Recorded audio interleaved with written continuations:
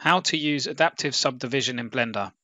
First go to your render properties, make sure you're on cycles, make sure your feature set is on experimental, device, GPU compute, but it can work on CPU, but let's just put GPU compute.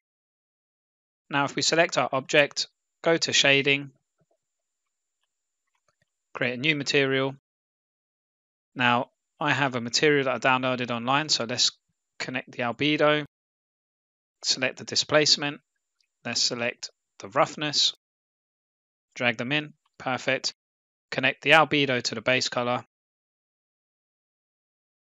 Connect the roughness to the roughness. Make sure it's set to non-color on color space, very important. Now with the displacement, make sure also it's set to non-color. Now with the displacement, we add a new node displacement, connect the color to the height, displacement to displacement. And if we look here, as you can see, nothing's happening. We need to go to our render view. And as you can see, again, not much is happening. So now we need to come here, material properties, scroll down to displacement, settings, make sure displacement is displacement and bump. I mean, we've only got the displacement connected at the moment, but if you connect the bump, just make sure you use displacement and bump.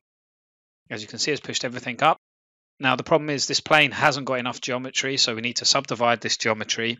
And what we do is we come and we add a subdivision surface and adaptive subdivision. This will only show if you have selected uh, experimental in the earlier step. Make sure you click simple, put the dicing scale to well, I think it goes down to just 0.5 like that. That will do for the moment.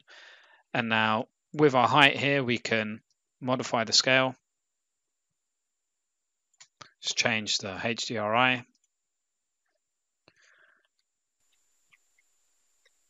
How the subdivision works is closer to the camera will be where there's more dense geo. So sometimes if we go in and let's, let's let this render. So for example, check this. So as you can see, not much. Now if I refresh the adaptive subdivision, it's a lot nicer. So sometimes if you have strange results, make sure you just hit the refresh on here on adaptive subdivision. It should, um, well, if you move your camera around and you need to reproject it, just you refresh this. And there you go, adaptive subdivision in Blender. Quick and simple. Thanks. Bye.